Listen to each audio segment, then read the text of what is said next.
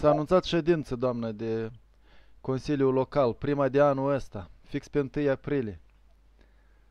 Dar nu știu, o fi o glumă și nu știu dacă este conform procedurii, pe, pe, pe urmă că, doamne, deoarece că prima, ultima ședință a fost pe data de 29 decembrie, tot cu incident, 2023. În lege scrie o dată la 3 luni, dar nu e precizat fix la 3 luni. Zice să fie 4 pe an. Așa că dacă aveți 4 ședințe ordinare pe an, v-ați scos.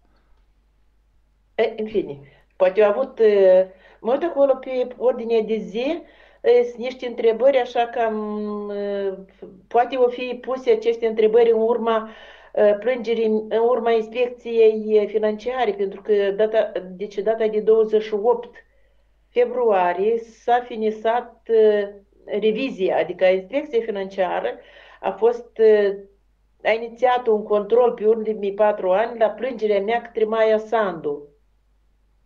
Deci, verificarea sau revizia sau inspecția financiară a terminat pe data de 28 februarie, deci de, de, de controlat. Din câte am văzut, revizorul mai venise și după.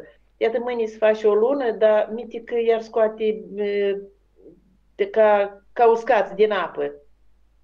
Pentru că, din câte am înțeles, s-au, s-au găsit ilegalități. Inclusiv s-au găsit ilegalități pe, pe faptul deci, acelor decizii care, deci, tot prin răspunsul dumnealor, mi se spune că nu au fost emise decizii la, la ședința din 25 luna 7 2023 privind atragerea banilor în satul european expres. Și îmi spun că n-au fost emise. Dar tot ei trimit această decizie la UNDRL și Oficiul Național de Dezvoltare Regională mă informează și anexează decizia din 25 luna a 7 2023.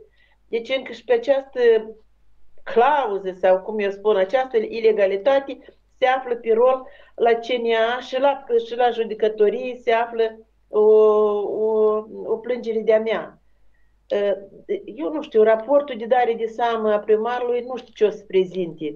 Poate să prezinte câte, de câte ori a fost amendat. A fost amendat pentru faptul că nu mi-a răspuns, nu mi-a dat răspuns la o cerere Următoarea amendă o are pentru că m-a jurat, mai are încă o amendă pe, pe alte, pentru altă injurie, pentru altă agresiune fizică, mai are pe rol, bănuiesc eu, bănuiesc că va fi un proces penal sau procedură penală pe faptul acțiunilor huliganice lui, ale lui la în cadrul primăriei. Deși am uitat să vă mai zic că săptămâna, săptămâna trecută am, reu, am reușit și am fost la un stagiu, la un curs de, de informare la avocata Doina Ioana Străisteanu, o avocată destul de inițiată în problemele violenței și violenței sexuale la, la locul de muncă.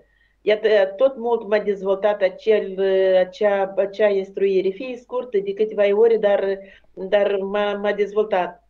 Da, i-au câștigat și câteva dosare la CED, au fost membru în Consiliul pentru Egalitate, cunoscută.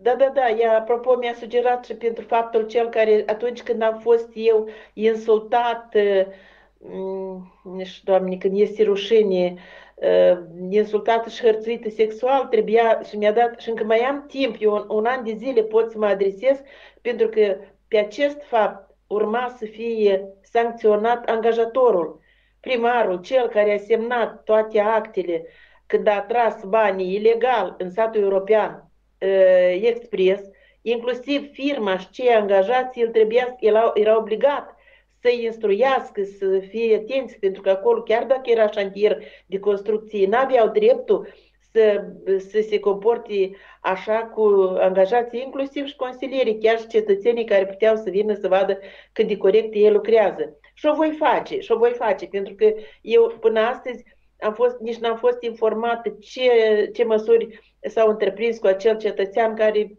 nici nu știu de unde este. Muncitorul, Apropo, cela, muncitorul cela, da? De pe șantier. Da. Uh-huh. Da, da, da, da, da. Apropo, iarăși vreau să vă zic tot în acest context despre câte, câte falsuri mi-a prezentat primarul pe perioada asta de, de, de ei, nici, nici, nici nu mai vreau să mai zic. Dar, ultimul mandat al șaselea, al cincilea, cât e Da, ultimul mandat, da, și dintre asta, din, dintre șaselea care au pornit, tot au pornit-o cam cu stângul. Deci s-au tăiat niște plopi și eu întreb ce au făcut cu masa lemnoasă. El îmi spune că cei de la Premier Energy au luat lemnul și au zbugit-o. Mă adresez la Premier Energy, iată, eu v-am trimis, pare mi se. Da, da, îl arăt. Uh, Premier îmi spune că a fost masa lemnoasă a fost luată de echipa Premier Energy. Parcă și ei vin, mă unesc conductoarele și gata, se duc. Nu aveau mașină de încărcat lemnul scriu, trimit la Premier Energy. Zic, voi ați și, și anexez răspunsul primarului. Ei îmi răspund că am, a fost SRL echipă așa, a fost implicată doar la restabilirea rupturilor de conductoare și restabilirea furnizării curentului electric către consumatori, dar de defrișare și de tundere e responsabil primăria. Cum, mai om, ești primărie, ești primar, ești, ești funcționar public, ce îmi mai cu, cu oca mică, ce îmi cu mâța boită? Și de ce am pus o plângere pe faptul că el mi-a dat un răspuns eronat, vădit, fals? Fals Iar în acte, o, o mințit. Da. Iar și aici e care sub, sub incidența articolului 71 alineatul 2. Doar eu nu l-am întrebat ce are în beș, dar am întrebat ceea ce ține de, de, de niște plopi care, și plus la asta, uh, în fine, au mai pus pe cale niște oameni care erau în stare să iei banii de pichet lui Colețațu, care a decedat și îl punea la cale să plătească omul acela care era într-o stare avansat de, de, de, de, de gravă.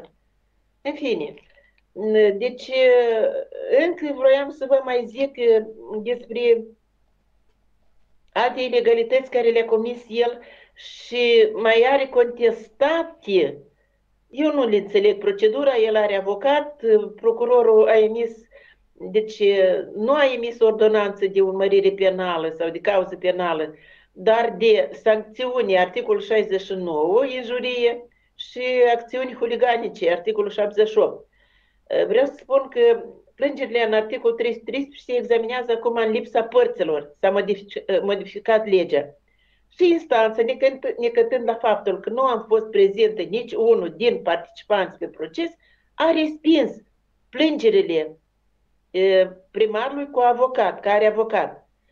Acum se află pe rol la Curtea de Apel. Curtea de Apel iarăși a trimis un, deci o științare ca să prezentăm referințe și iarăși se va desfășura ședința în lipsa părților. Da, amintiți-mi ce au zis procurorii, el a contestat ordonanțele. Înseamnă că procurorii da. l-au găsit vinovat și l-au amendat sau ce de Da, procurorii l-au găsit vinovat și l-au amendat pe două capite. 69, articol 69 și acțiuni huliganice. Da, da, da. Și el nefiind de acord... O contestat ordonanțele, da. O contestat ordonanța, da. Deși puteam și eu să o contest, dar vă zic că e obositor. Da, da pe lângă, pe lângă faptul cât m-a umilit el, cât m-a ajusit, cât m-a, cât m-a, cât m-a brâncit, chiar și atunci când m-a brâncit peste acel, ce, peste acel, dedica, peste acea bordură, bordură de, de beton. E, și încă, deci tot data de 1 se va examina eu am depus o cerere privind intentarea procedurii disciplinare în privința secretarei Dimin care m-a pulverizat. Apropo, și această contestație este admisă și întoarsă înapoi la rejudecare. Dar eu nu știu ce se poate de rejudecat, pentru că ea a fost audiată în cadrul, în cadrul mm, contestației și ea recunoaște că a pulverizat. Ea nici nu m-a, pre, nu, nici nu m-a preîntâmpinat pe mine. Aici eu consider că voi cere ca să fie înaintată, să fie deci, deschisă uh, cauză penală, pentru că ea a folosit o armă o armă rece, o armă chimică ca să mă orbească, deci fără ca să mă anunțe, fără ca să ceară ă, deci un, ă, un timp oarecare că ea dacă vrea să-și, să-și bairisească încăperea. Deci eu consider că aici la primărie s-au, s-au incubat așa un, un fel de... Nu, nu, nu pot eu să, să-i calific, dar atâta atât agresiune fizică din, din partea tuturor, inclusiv și uh, femeia care pretind să spală. Și acolo sunt ilegalități și acolo tot vreau să le scot, pentru că dacă aveau să facă careva economii, era să vedem în sat și lămpi de iluminat stradal mai bune. Puteam vedea și încălzire în, în biblioteca din, din localitate. Puteam vedea și acele, dacă țineți minte, eu am mai făcut un interviu când am propus ca să fie construite, instalate la ieșirea și intrarea din sat, din ambele părți, dinspre Taraclei de Salce și ieșirea spre uh, Țărâncuța, două stații de oprire, două opriri. Până în ziua de astăzi, iată deja e a cincilea an, tot promite ca să fie, să fie, dar când și de unde? Plus la asta, de câte am înțeles, revizia, revizia financiară a depistat uh, ceva nereguli la faptul că el a, a, a efectuat atâtea reparații cu una și aceeași firmă. Deci, din cât eu așa am înțeles, până când nu am raportul de evaluare, dar din câte am înțeles, asta s-a mai depistat. Apropo, eu la inspecția financiară am declarat uh, ilegalitățile pe care le-am, le depistat eu, faptul că ei se deplasau la Cahul uh, cu mașina primarului și după aia încă mai luau și bilete de la autobuz și le, și le anexau prin acea foaie de, de, nu de deplasare, dar de, de delegare la Cahul. Deci Dar unde eu... vezi, Mata, pe ordinea de zi discutarea uh, pedepsei pentru secretar cu privire la examinarea cererii numărul punctul 4, dar de unde știi ce cerere? Că raportor e primarul Mihai Munteanu. Evident, păi eu dumnealui am adresat uh, da, așa bun, dar de unde știi ce cerere? Poate e cu totul altă cerere.